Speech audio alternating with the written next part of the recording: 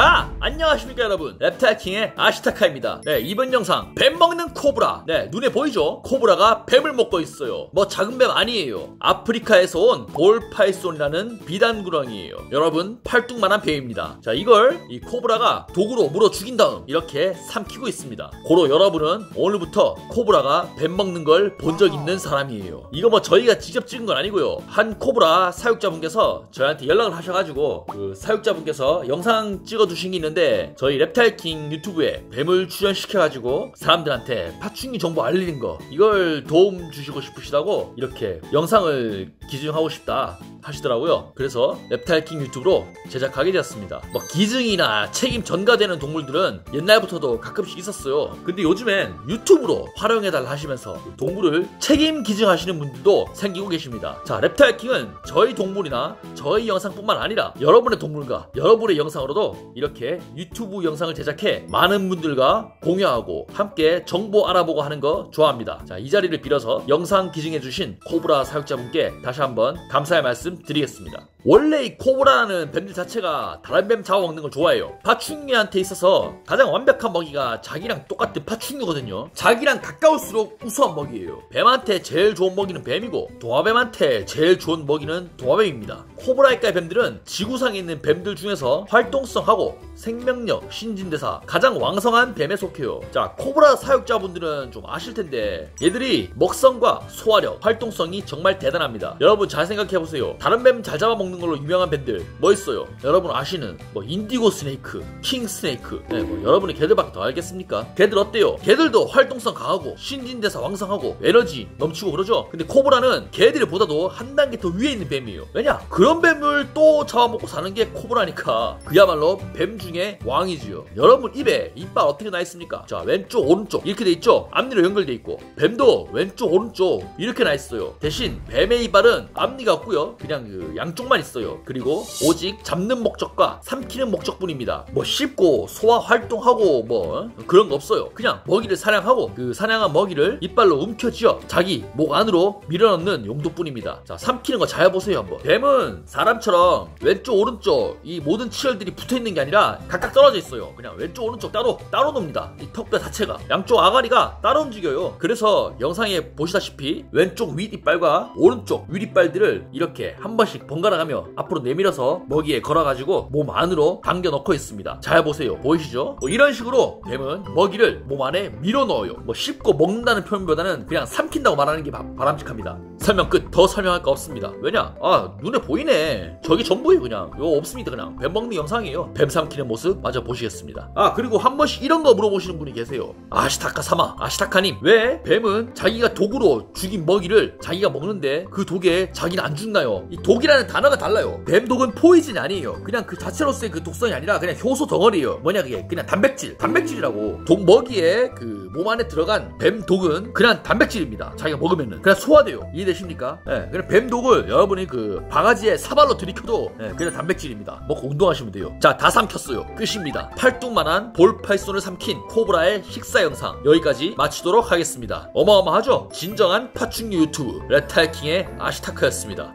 감사합니다.